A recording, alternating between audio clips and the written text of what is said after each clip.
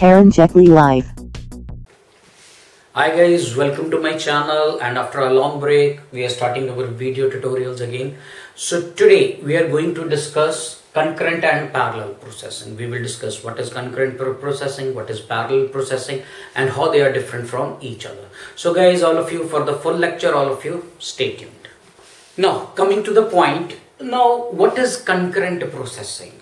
So guys in concurrent processing when, when multiple processes or threads they run at almost same time then we call that type of processing as concurrent processing okay? For example we have a program a and we have program b or we have a process a or process b okay? So now all of you know guys like uh, what happens like we as a user we write a program the operating system okay? It divides the program into processes okay? That is transparent to us. And each process can be divided further into very small lightweight process. We call it as thread.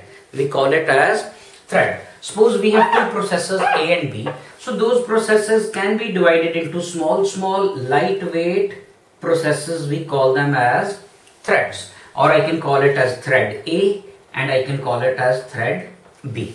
Now guys in concurrent processing both of these threads they can run almost at the same time okay? They both can be executed at the same time okay? This type of processing is called as concurrent processing. And in concurrent processing boys uh, and in concurrent processing guys i have this habit of saying boys and girls. In concurrent processing so the main thing is these threads they can run almost at the same time but they run on a single S-I-N-G-L-E processor. They run on a single processor. So in concurrent processing okay when we talk about concurrent processing the processor is single.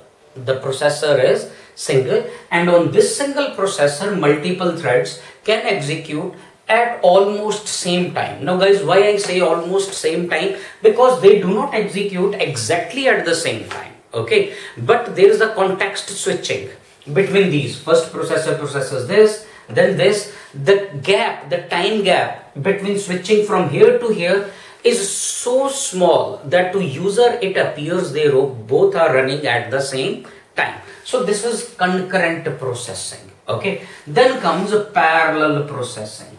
Now guys, in parallel processing also, we have the same thing. We have thread A, we have thread B. Okay, so they both are executed at the same time.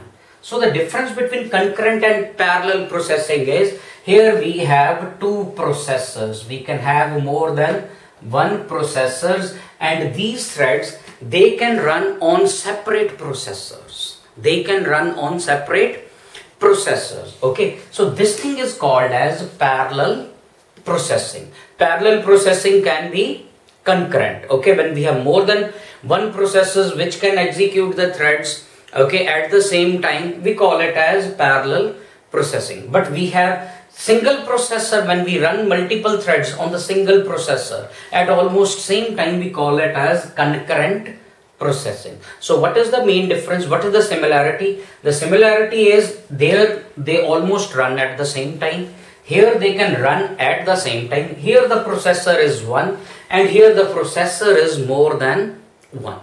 So this is the difference between concurrent and the parallel processing. Okay. And with guys, when we have this concurrent processing, with concurrent processing, the main advantage of it is we have high performance system okay? When multiple threads can execute at same time okay? Automatically the system throughput and the system performance it goes up. But also it leads to another problems which we are going to discuss in the next lecture.